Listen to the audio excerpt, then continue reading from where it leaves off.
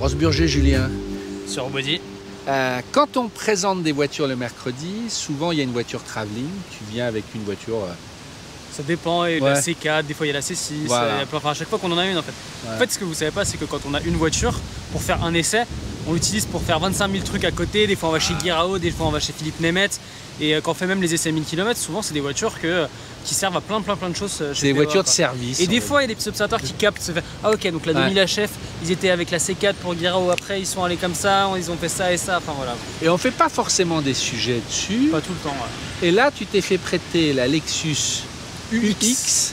Ouais. Donc c'est leur petit SUV, enfin petit. Qui fait un carton d'ailleurs, hein, qui est le Ouais. plus vendu chez eux. Ah ouais là. ouais, ouais, il fait un carton. ouais. Et euh, là, on n'a qu'une caméra, mais tu m'as dit j'ai des choses à dire parce que tu le conduis depuis une semaine. Bah, en fait, la, la UX 250H, ce qu'il faut comprendre, c'est que, à mon plus grand désespoir d'une certaine manière, mais on va y revenir, c'est la CT200H d'aujourd'hui. Donc la CT200H, vous savez, j'en suis amoureux et tout. Sûrement à la rentrée, on se reverra pour en parler. Et ils ont arrêté donc cette berline euh, compacte, euh, qui était comme on les connaît, comme une série 1, euh, comme une A3 et tout, comme une Golf. l'ont faire arrêté il n'y a pas longtemps. Hein. Ouais, Ouais, ouais. non, le- il, a- elle est partie du configurateur en mai, mai-juin. Donc c'est hyper récent. Avant, je m'amusais encore à la configurer avec les, le joli intérieur et tout. Là, tu peux plus. Et ils ont fait ça, un UX. Alors les gens vont encore râler, et j'étais le premier à le dire. hein. Euh, encore un SUV, c'est chiant et tout. Et puis moi, j'aime bien la CT parce que cette petite, euh, ce petit air de golf, de truc, euh, ça, ça devient manquant. Et donc, ils ont fait ça. De prime abord, tu te dis, bon, ok, c'est un SUV comme un autre et tout. Tu te dis surtout, c'est encore manga, quoi. Il y en a dans tous là, les sens. au bout, hein, Ouais, tu, vas Et vite, en mais. fait, non mais t'as des L partout, tu vois, de Lexus. Voilà. Ça, ça fonctionne aussi pour l'aéro. C'est tout con, hein, mais il y a un vrai truc d'aéro. Et t'as des L partout. Donc bon, après t'as la barre. Quand, la nuit, ça fait un effet. Les gens C'est tout éclairé la nuit tout éclairé, ouais, tout le long. Je sais pas si je mets en position, on essaiera peut-être après. Ouais. Et euh, tiens, t'as un L là. Ah, Là. Ça, c'est les feux de recul, là. c'est deux petites LED, ça fait tout Ouais. bizarre, ils sont tout petits. Et là j'ai un truc bronze, j'ai une finition F Sport. Pour, juste pour parler des prix, c'est entre 30 et 50 000 euros. Là j'ai le haut du panier. Non, non, mais, mais, mais- mais en même temps, tu as, des versions à 35-40. Alors c'est beaucoup d'argent, mais quand tu regardes par rapport, t'as- euh, par rapport au moteur, par rapport à la prestation, ça passe en fait. Et tu vois, l'avant on connaît très bien, on va le faire avec, euh, avec l'espèce de Y, le truc. euh, Je Mhm. sais pas si c'est un, bouclier, un truc de samouraï et tout. Tu l'as maintenant à l'arrière. Ah, il y a des lignes de partout. hein. Et donc l'avant, on le connaît, hein, cette fameuse de chez Lexus. Et ce qui est fou, c'est que bon, il y a cette signature là, mais il y a aussi des L ici. Il y a des L dans les feux. Partout, tu vois le L de Lexus. Ils sont allés au bout du truc. Bon, le design, c'est une chose, mais je sais pas si tu t'en rends compte. Euh, moi, c'est la première fois que je l'ai vue. Ce qui m'a choqué, c'est que je la croyais beaucoup plus haute sur patte. En vrai, elle est, très- elle est plutôt basse. Quand on est assis dedans, c'est frappant. ouais. Ouais. Alors là, déjà, tu vois qu'elle est, par rapport à un SUV, elle est pas gigantesque. Mais quand tu es dedans, tu as vraiment l'impression d'être dans une euh, compacte normale et tu es au niveau d'une Golf et tout. T'es pas plus haut, tu vois. Alors, c'est bien ou pas bien, j'en sais rien, parce que l'extérieur, tu as l'impression d'avoir un SUV, à l'intérieur, tu as l'impression d'avoir une compacte. Et bon, on va, on va pas parler de, de tout le truc, mais je suis peut-être un peu biaisé, je suis d'accord. Mais ça faisait longtemps, j'ai roulé aussi la nuit et tout, il n'y a plus de couvre-feu et tout, on peut se faire plaisir. Ça faisait longtemps que j'ai pas pris euh, du plaisir avec Tu me l'as dit trois fois. C'est pour Ouais, ça qu'on s'est dit, mais bon, c'est bizarre on en fait fait. une petite vidéo, Ouais. hein, c'est pas un essai. Je, je m'attendais à rien de cette voiture. Et effectivement, elle remplace la voiture que j'adore. Donc en plus, il y a un espèce de côté où t'as pas trop envie de l'aimer.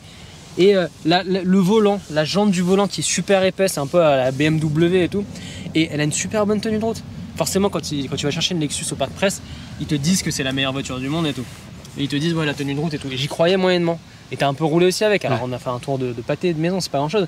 Mais elle est posée au sol, elle fonctionne bien. Elle a le moteur, donc 184 chevaux de la Corolla.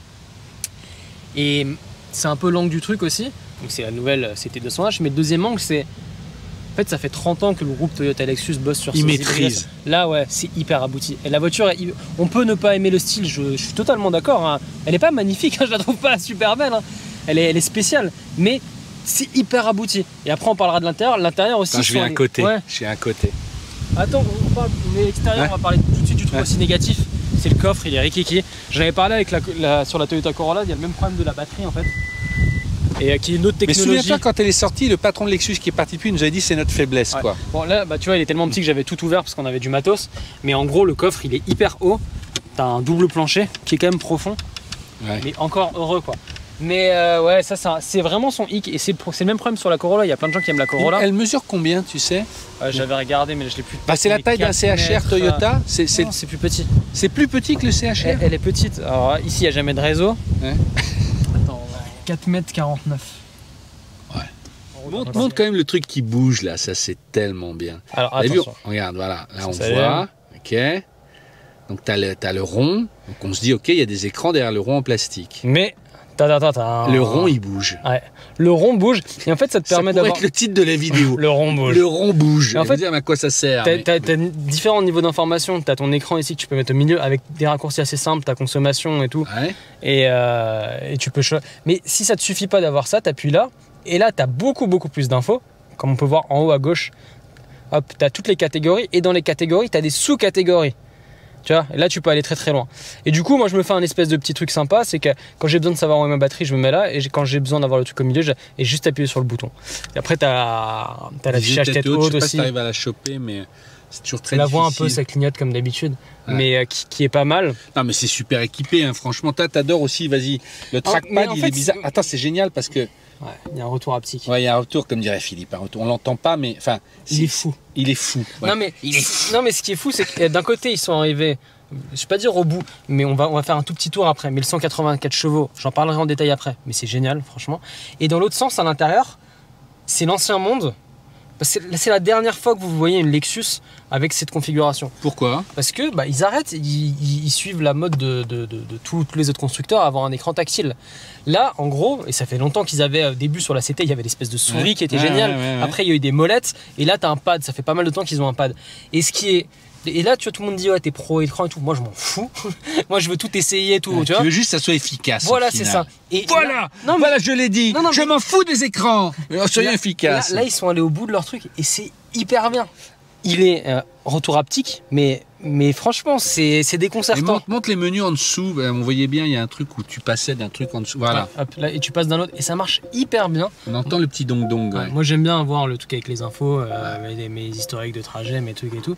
Et euh, en fait, ils sont allés au bout du truc et ça marche vraiment bien. Euh, ce qui est génial, c'est que quand tu es en train de rouler, tu peux rester comme ça quand tu commences à avoir l'habitude de tes menus et t'as pas besoin de toucher. Alors déjà, t'as pas plein de traces de doigts. Et avec l'habitude, ça devient un peu comme une télécommande. T'es- tu sais où sont les trucs et ça fonctionne bien. Et je sais pas, euh, je- euh, c'est vrai qui parle toujours d'aviation, de trucs où effectivement tout est au bon endroit. Alors il y a plein de boutons, hein. c'est, c'est- c'est- c'est tout, le- c'est tout ce que c'est tout ce qu'en fait on râle euh, sur les voitures d'aujourd'hui et tout ce que les autres ne font plus. Mais ça aussi c'est super. C'est toute l'interface, on va dire média, radio, euh, tuner. Tu peux choisir média, la radio, le volume. Là, tu as une petite molette. Qui clique bien fort. ouais. Comme il faut. Ouais. En fait, tu t'amuses des fois à monter le son, à le baisser juste parce que le- le- ton ressenti. Le est génial. retour est très Ouais. bon. ouais. Et, et ça va dans la continuité de ton accoudoir. Et en fait, quand tu roules, t'es comme ça, comme ça. Et c'est génial. Ton écran est pas sale. Tu peux continuer à bien regarder ta route. Et euh, bah là, ok, il y a des boutons partout, mais c'est vraiment bien fait. Et euh, je, Là, tu me disais aussi, par exemple, un détail. On a siège chauffant ou siège c'est très refroidissant. C'est très rare. Il y a un mode auto pour les sièges Ouais. chauffants. En fait, t'as- t'appuies juste une, une pression. Là, je suis en auto, par exemple, tu vois, qui est activé. Ouais. Là, il capte que bon bah il fait chaud, donc il m'a mis en 3 sur, euh, sur de la ventilation air frais. Mais imaginons, il se rend compte que bah, à l'intérieur il fait très froid et tout, il pourrait me mettre en 1 ou en 2 en siège chauffant. Et il le fait C'est lui qui automatiquement. décide. Et le volant aussi en automatique. Alors pas sur du froid, mais sur du chaud. Là, il est en automatique.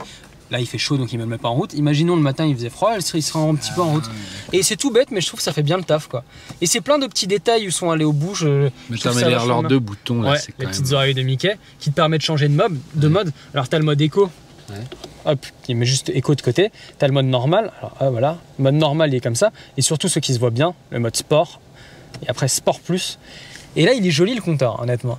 Et où ils sont allés au bout du truc, euh, c'est dans la conduite.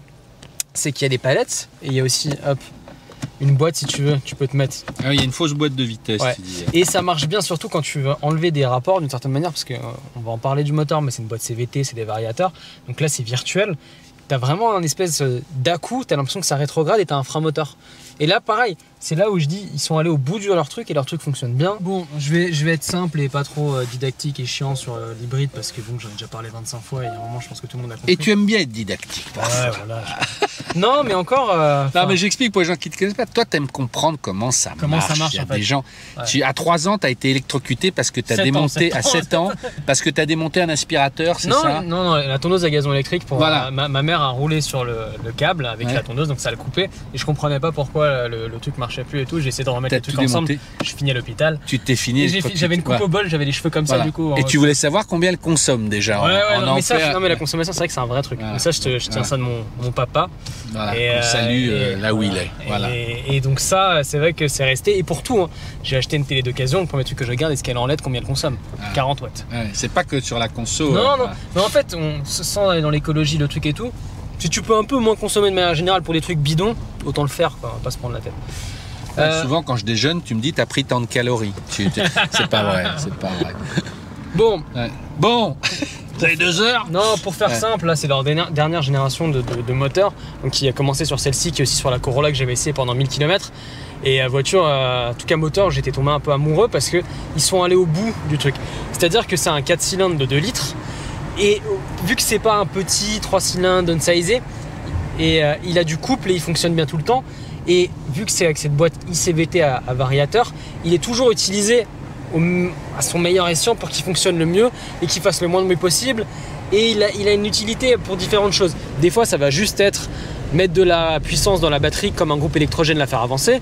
Des fois, ça va être de faire avancer euh, la voiture avec le thermique pour faire avancer les roues, la motricité. Et, euh, et de temps en temps, c'est juste du soutien. Tout ça pour dire que c'est super. Alors, c'est quand même beaucoup, hein, 184 chevaux quand tu remets euh, les pendules à l'heure sur un daily.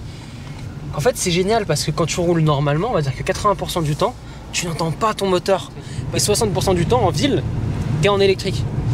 Et euh, quand ta Tu batterie. ces émissions de CO2 annoncées à ce brave garçon, à ce brave euh, On est, moteur on est en dessous des 100 grammes, je sais plus exactement parce qu'il y a la, la- la différence entre le NEDC Core Relay et le WLTP, mais on est en dessous des 100 grammes, ça c'est sûr. Et euh, ouais, ils sont, ils sont arrivés au bout de ce truc-là. Alors, quand je dis au bout, ils vont aller encore plus loin et tout, ils vont encore optimiser. Mais c'est la première fois où, dans un usage normal, euh, t'as pas, pas l'effet euh, mobilette qu'on dit tout le temps.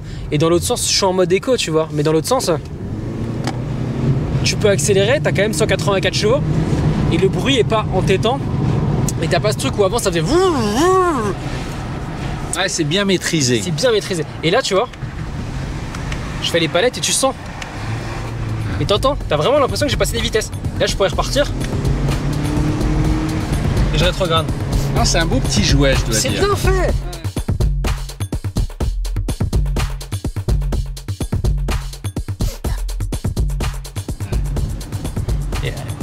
Dis-moi quand le moteur le thermique va se mettre en route. Bah, je peux le voir là. Ouais, bon, ouais, ouais.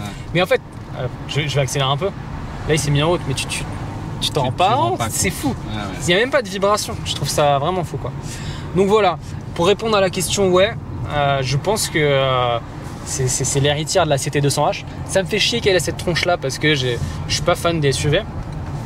Mais dans l'autre sens, quand on roule, et je t'ai dit de nuit, je me suis pris au jeu de me mettre en mode sport sans faire le kéké, tu vois. C'est joli la nuit, tout éclairé. Ouais, c'est vachement beau. Et je suis passé dans des tunnels avec les lumières et tout. J'avais le compteur qui était avec le petit fond rouge et tout. Et euh, franchement, j'ai pris du plaisir. La jante du volant, à mon avis, il a pour beaucoup. Et elle a une très bonne tenue de route. J'étais vraiment surpris.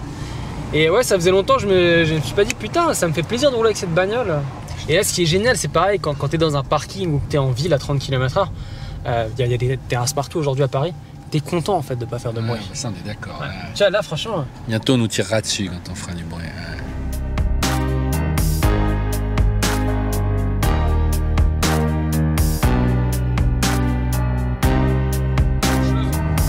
Maserati, il y a de la belle caisse. hein. Ouais. Confortable. Je sais pas, enfin. Ouais, ouais, non, non, mais, mais- t'as pas besoin trop de me la vendre. Et là, on va à gauche, tu vas voir. C'est- de une rue complètement euh, moyenâgeuse, tu vas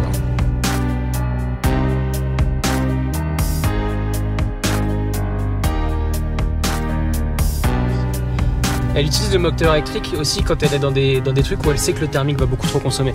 Là, dans une montée, le, le- le thermique c'est pire que tout. Et ben là, bien qu'elle ait plus, quasiment plus de batterie, elle, elle force à utiliser le- l'électrique. Parce qu'elle sait que c'est plus rentable. Parce que, ouais, parce que là, là, avec. Là, elle a dû se mettre en route. pardon. Mais là, c'est là où tu consommes le plus avec une thermique. Mais, euh, mais voilà. C'était un petit biais hein, sur, Ouais. sur la, la UX.